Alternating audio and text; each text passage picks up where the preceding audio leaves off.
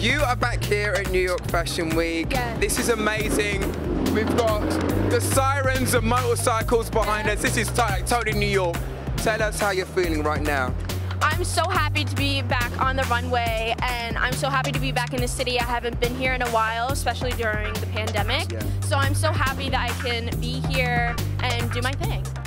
Tell us some of the looks that we can expect in your collection, please. Is this like one of them?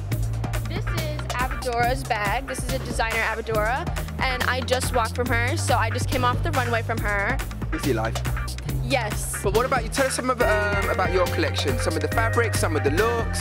So this year for eye candy, we were kind of going with the graffiti style.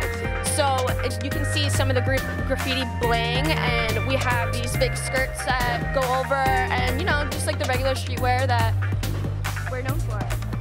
Do you, as they say in New York, do you? Yes. Now, what's coming up next for you?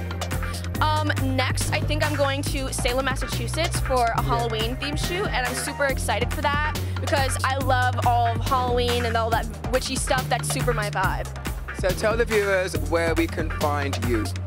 You can find me on Instagram at Madison Lexi Carter, and you can find my makeup brand, Signature Looks by Sass, on Instagram, just the way that you would spell it. Thank you so much.